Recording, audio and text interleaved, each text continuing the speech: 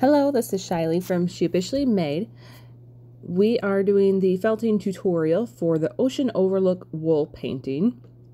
This is a two-part tutorial. The first part is the wet felting for the background, and the second part we will be needle felting some details. So this is a finished piece. Every piece is a little bit different. I like to make variations. Um, and here are some of the tools we'll be using. Um, you need a large bath towel, some bubble wrap,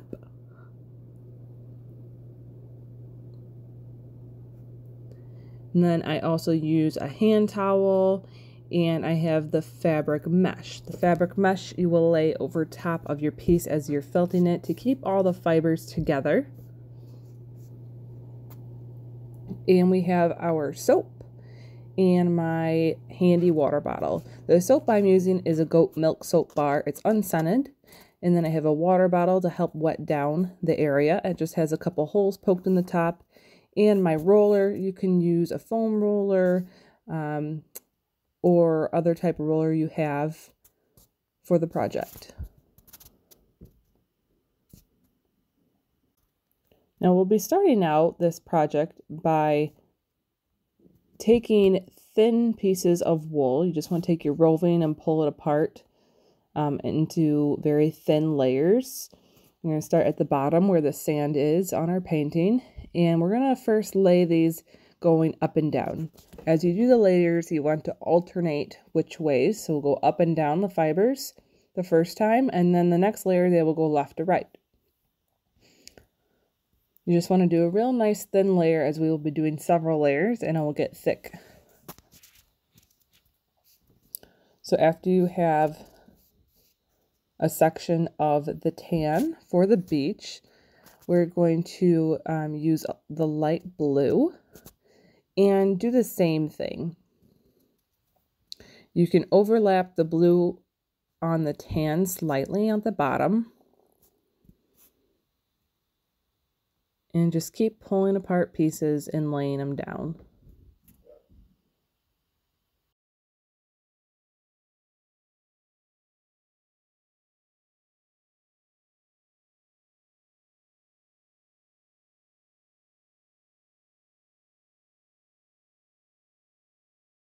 And then you'll do a dark blue layer and then another light blue layer. Now we are onto the second layer of this piece and you're just going to repeat the whole process but this time lay the fibers from left to right instead of up and down.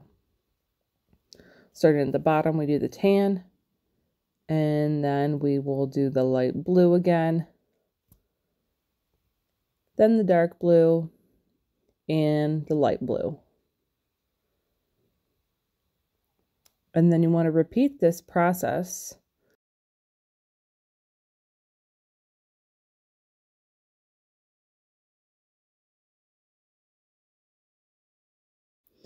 And then the bottom, um, we're actually going to add in some green here, which is going to be our cliff or our overlook. And I'm just going to add a little bit at the bottom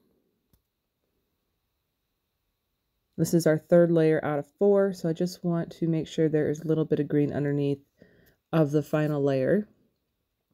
And we'll finish off with the tan. And then for the final, this is the fourth layer, final layer. You want to lay your fibers left to right again. Make sure you add in that green and the tan. Then I'm going to do the light blue and the dark blue and the light blue again for the sky. Now after you have all your layers, you want to make sure it's like the same thickness overall. And when you're satisfied, then we'll add just some details. So I'm just going to blend our um, bottom light blue section and the dark blue section a little bit to make our nice ocean. And so I'm just taking a little bit of the different colors and laying them on top of each other I'll just give it a nice fade into each color.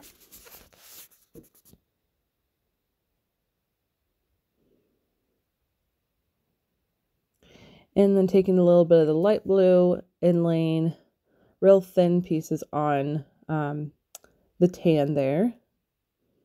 This will give it the illusion of the waves coming in and breaking on the shore. Just enough that you can see through. Now we're going to add a little bit of white in the sky to create a little bit of a lighter blue color to take it away from the ocean color um, and also give it some clouds. And we're going to add the white on the shore. You just want a little bit just so you can see through it. Because if you see, you can still see through the white and the light blue on the shore to the tan. Now grab your locks and I like to pull these apart because they're really thick locks.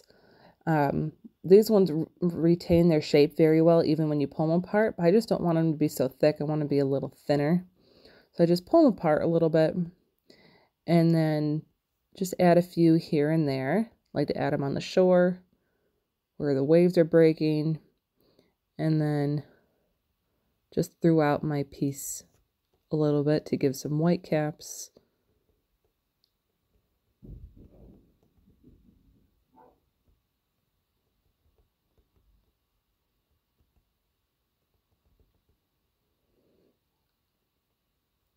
And I'm adding some real loose locks in the sky, just as some clouds. Now we're going to use our yellow to make the sun in the sky. Real bright, nice yellow for our beautiful sky.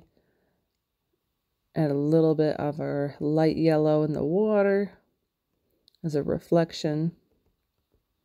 And I'm just taking some more white and making a couple clouds around the sun. And lastly, we're going to make some rocks.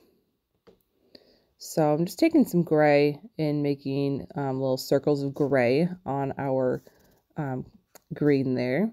And a little bit of black around the edges to give it some depth.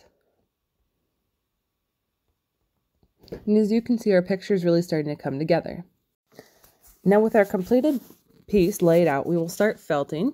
You want to lay your mesh over top of it and then we'll start wetting it down. So I have my water bottle um, and I have warm, a little bit of soap in it, um, but you want it warm um, to hot water.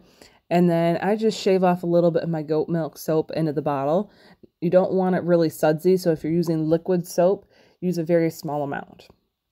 I'm just squirting water on top of the wool, and you just want to put as much is needed to soak through all the fibers. You don't want your wool sitting in a puddle of water. So I like to press it down, push the water through the fibers, and keep wetting it down until it's soaked all the way through. You have a lot of wool here. You created a thick layer. So it takes a little while to soak it. And I have just holes poked in the top of my bottle. So it gives me a nice light stream so once you soaked it through enough, um, if you're using a soap bar, you can take it and rub it over the mesh a little bit. I like to do this to get a little bit more soap in there and it doesn't make too many suds. And then you'll start just gently pressing on top of the wool. I just like to press it out first, get my mesh nice and flat. You don't want to move the fiber so much at this point that it adjusts where you laid out your wool. You want to start out very gently and then increase the agitation as you progress. So just gently go back and forth. This video is sped up, so it is a little bit slower than what I'm actually showing you. Um, and as you, as the fibers are sticking together, so as you can see after that little bit of agitation, um, the fibers are sticking together. Some of them, will, they'll still pull up, but they aren't going to all lift up when I lift up my mat. Um, you can tidy up the edges if you would like, or you can just leave them and you can always cut and trim your piece later. So I'm just going to lay the mesh back out again and then um, agitate it a little bit more, add a little bit more soap to it. So when your fibers are staying together and not lifting up um, when you pull the mesh up, you can move on to the rolling process. So you want to lay your mesh on top again, turn your bubble wrap sideways and take your roller and roll the whole thing up And then you can lay out your towel. I'm just using the hand towel here because I have a small roller. And then roll the towel into your roll there. And then you're going to start rolling it. And this is the felting process. We work in sets of 100. So you're going to start at one point with your towel and roll it back and forth 25 times.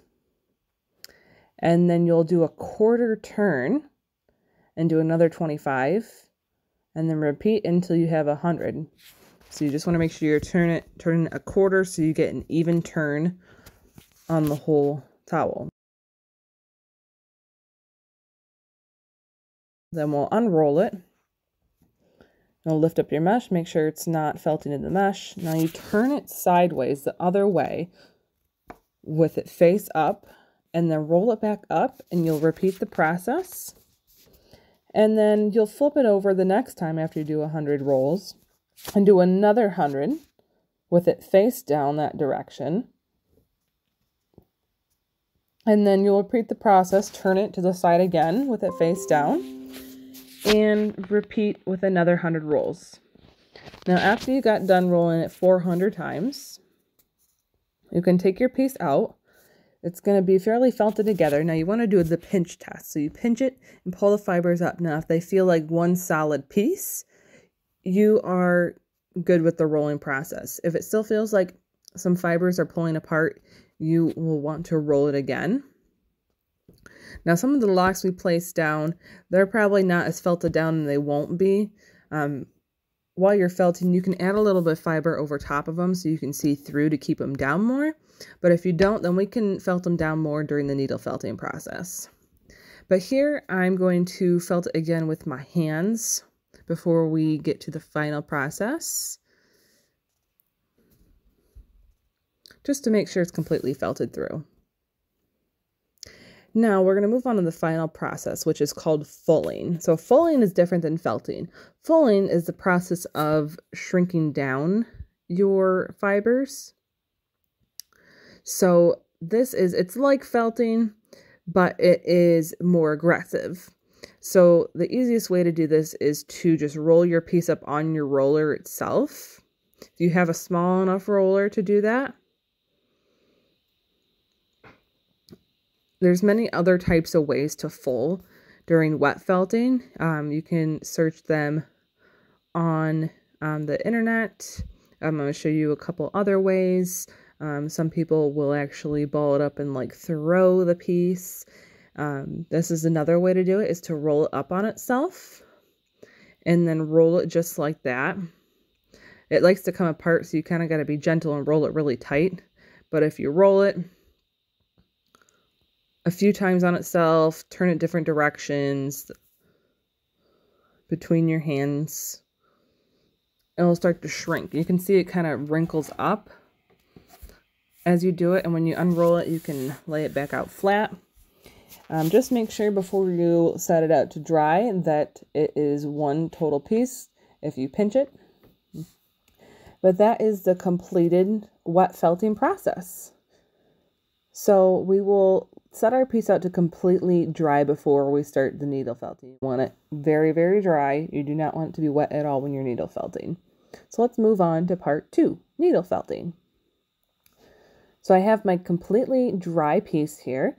I have a few different colors we're going to work with. We're going to add um, a sailboat in here and just tidy up some of the other pieces. This one I'm not adding too much needle felting detail, but I'm going to start with my locks here. So my locks, uh, I didn't put any fiber over top of them, so they didn't felt down to the rest of the piece like the regular wool fibers did. So you can do a couple things. You can take um, a little bit of wool, real thin pieces, and lay it on top so you can still see through to your locks and felt that. Um, or you can just felt the locks down themselves. They usually felt really good. And just make sure when you're needle felting that you always have a felting mat underneath of your work. I'm using a um, wool felting mat from Bear Creek Felting. Um, I also have foam felting mats. So after you get your locks felted in, we can make the sailboat. So I'm just taking a little bit of red here and making the bottom of the boat. And then um, adding a mask with a little bit of my tan. And then add a sail with some of my white. And feel free to add different details and different things to your piece. This is all um, to be unique and creative. You can add whatever you feel like, whatever feels good. And then I'm actually going to add a little person here at the front of the boat.